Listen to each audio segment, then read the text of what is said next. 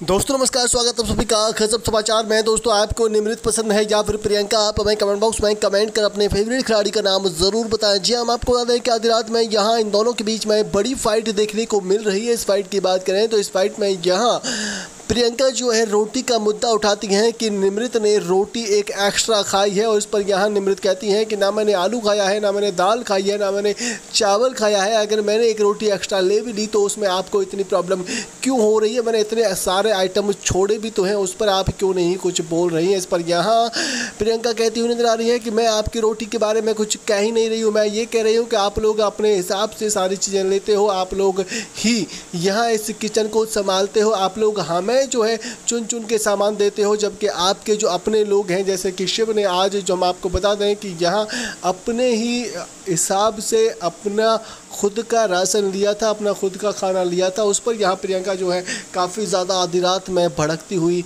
नज़र आ रही है और यहाँ प्रियंका और निमृत के बीच में काफ़ी देर तक ये बहस देखने को मिली है, जैसा कि आप जो है, तस्वीरों में देख ही सकते हैं, दोनों ही एक दूसरे पर यहाँ चिल्लाती चीखती हुई नज़र आई हैं। बहरहाल दोस्तों इस वाक्य पर आपकी क्या राय है? आप अपनी राय हमें कमेंट बॉक्स में कमेंट कर ज़रूर दें। साथ अगर आपको वीडियो पसंद आया है तो वीडियो को लाइक और शेयर करना तो बिल्कुल भी ना भूलें।